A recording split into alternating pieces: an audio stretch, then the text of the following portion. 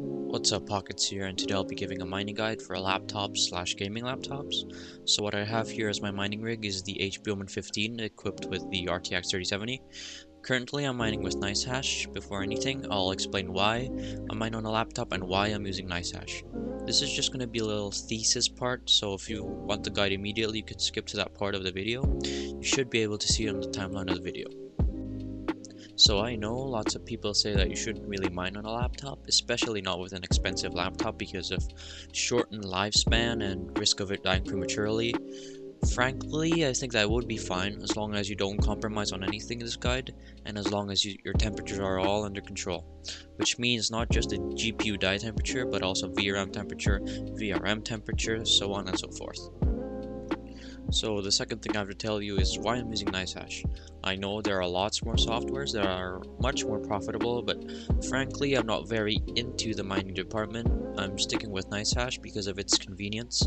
I'm more focused into the technicalities of PCs in general. Since I'm more into the technicalities and such, like temperatures, cooling, power, that's why I've made this guide. This guide is more towards maintenance really, so if you want to know what's the best mining programs to use, then try watching some other videos specifically on the mining side.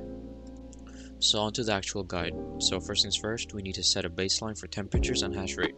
Hash rate is basically how much hash your PC is producing per second. So here I'm just going to use NiceHash. It's easy to set up and y'all can probably set it up under 3 minutes. From there, install MS Afterburner 2. We're going to set up a custom mining profile based on your GPU to get the lowest temperatures, lowest power, but highest hash rates. So now we can probably go and hop on Reddit and search for a specific GPU to, find, to figure out what's the best mining setting for your rig. After that, you might want to experiment yourself with a core clock and memory clock. The key to mining is basically want to find the lowest core clock for the lowest temperature, while setting the memory clock as high as you can. Mining really depends on memory clock, Every GPU is built different, so not everything on the internet might apply to your rig, so maybe experiment in small increments, maybe plus 5 for memory clock, or minus 5 for core clock, and find your rig's limit. Also do mind the hash rates, because if, even if you've reached really really high memory clock, your hash rates can actually drop instead, so figure out the sweet spot. So from there, we can download HW info or hardware info. There we can monitor our GPU temperature and not just overall GPU temperature like from MS Afterburner. We can actually monitor everything like VRM, VR, VRAM temperature, and actual GPU die temperature. So these are the temperatures of my system. As you can see, it's all very reasonable. I'm not gonna lie, these temperatures are super impressive for a laptop. Even my actual 3070 PC, mine's at 55 to 60 Celsius. The VRAM and VRM temperatures are also very similar to my actual PC, so I can sleep at night without worrying if my laptop will die or not. Every GPU's safe mining temperature differs. For example, a 3070 for both my PC and laptop, the VRM temperatures are safe at around 70 to 80 C. It is normal that VRM temperatures are higher than actual GPU die's temperature. Oh, also for some advice, you might want to undervolt a CPU to its minimum stable setting so your CPU can just chill, which means both cool and staying idle. And also so that it sucks the least amount of power. So let's go to the physical slash hardware. If you're really serious about long-term mining, you need to take all these precautions and do not compromise. So the number one thing to do is set your laptop at a reasonable fan speed. My Omen 15 here has a balanced and performance mode. Unfortunately, if I set the power mode to balanced, it cuts out the maximum potential of my GPU, so therefore I must use the performance mode. In performance mode, this fan speed is capped at a minimum of 50%, so let's just stick with that since it's actually more than enough for the cooling of my 115. So the second thing to do is to replace the thermal paste to your laptop, whether it's new or old. I've only had my Omen 15 for a couple of months, but I still decided to switch out the factory thermal paste. The factory thermal paste is fine, but it's only fine. Since we're really mining long term, as I said, we should not compromise. So then I switched out the factory thermal paste that was covering the CPU and GPU with the Arctic MX5.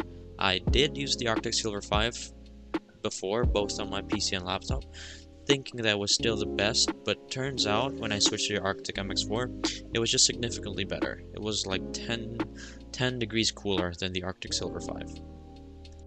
So I forgot to put this in the video, uh, what a stupid mistake, since this is such a major thing, but you also need to disconnect the battery, no matter if it's internal or external. In this case it's internal battery, so you gotta take, take disassemble the laptop, take the battery out. Um, I rarely use my laptop outside, therefore I just let my laptop run 24-7 mining. Keeping the battery inside the laptop and letting it stay 100% plugged in is just no bueno it might break and even blow the battery laptop eventually so just keep it outside your laptop. I mean yeah. This is a gaming laptop so you you you'll you'll be relying on ac power anyway so just better safe than sorry so the third thing to do is to put your laptop on a stand so that the laptop can suck more air from under. Therefore, I just bought this metal stand for like 10 bucks since the Omen 15 is a thick heavyweight boy. It's a whole 5 degrees cooler with a stand compared to just placing on a regular desk. Alternatively, uh, you can also use the laptop cooler. Personally, I would use the laptop cooler because it's more effective and as I said before, no compromises. And here, this is no regular laptop cooler. This is a cooler with 5000 RPM server fans stuck on it. It's so powerful, it runs on AC power and a fuse so it doesn't blow up. This all might sound amazing, and yes it does. Compared to using a regular stand, with a regular stand, I think it does like 60 to 63, and with with this setup, it's 57 to 60, and no more or no less and this very overkill laptop cooler, it already is significant to a high-end already cool laptop, so I'm very sure that it would affect majorly and more significant on hotter laptops.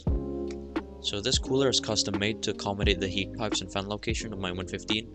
This is more of a DIY thing, so I think getting a re regular laptop cooler will work, though it's less significant. Though if you can get overkill fans and is a bit of a craftsman, then go for this cooler setup. Also, I do aim my AC a bit angled downwards straight for the laptop, so I'm not sure if this affects anything. So maintenance for this laptop work is going to be pretty basic actually. Since HP caps my fans at 50% for performance mode, I expect the laptop fans to die in 2 or 3 years. They're only fans though, so no biggie, you can always replace it for cheap but that does mean that dust accumulates faster. I keep a brush around to clean the outside filters every week or so, but the internals are also cleaned every 5 months or so. Thermal paste is going to be changed I think when temperatures start rising up again, so approximately a year. So in conclusion, I think it's fine to mine a laptop as long as you keep the temperatures under control, and let me repeat what I said previously, do not compromise. And well, right now I'm in high school, so all this money I can collect would really really help. I'm pretty confident in my laptop and PC's cooling potential, so I can let them mine 24-7 even at school. I just stop mining when I'm playing heavy intensive games, because the fans, they can be pretty loud, especially at night, but you get used to it. So thank you guys for watching, thank you for those who subscribe, I never really liked asking and begging people for likes and subs, and I'm not really sure where the channel is heading, so I'm sorry for the rare uploads, I really don't know what to do with this channel anymore. Anyway, thank you again and peace out.